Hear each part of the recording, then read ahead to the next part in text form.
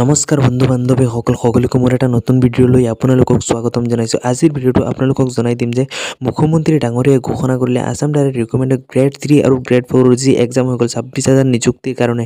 ৰিজাল্টৰ ডেটটো মুখ্যমন্ত্ৰী ডাঙৰীয়াই ঘোষণা কৰিলে। চ' আপোনালোকৰ ভিডিঅ'টোৰ শেষত আপোনালোকক জনাই দিম মুখ্যমন্ত্ৰী ডাঙৰীয়াই কোৱা কথাবোৰ।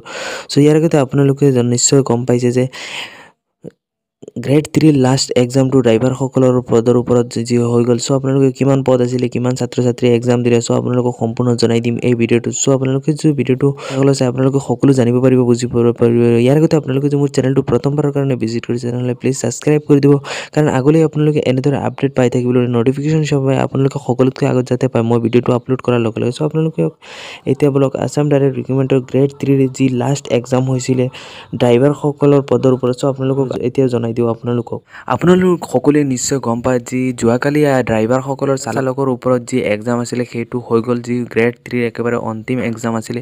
চ' সেইটো সম্পূৰ্ণ হৈ গ'ল। চ' ইয়াত কিমান পাৰ্টীয়ে কিমান মানে ছাত্ৰ ছাত্ৰীয়ে মানে যোগদান কৰিলে এক্সামত অংশগ্ৰহণ কৰিলে আৰু কিমানটা খালী পদ আছে? চ' ছয় হাজাৰ খালী পদৰ বিপৰীতে ঊন ঊনসত্তৰ হাজাৰ চাৰিশ তেপন্নগৰাকীজন পাৰ্টীয়ে মানে এক্সামত অংশগ্ৰহণ কৰিছে। চাওক ছয় হাজাৰ খালী পদৰ বিপৰীতে ঊনসত্তৰ হাজাৰ চাৰিশ তেপন্নজন পাৰ্টীয়ে অংশগ্ৰহণ কৰিছে।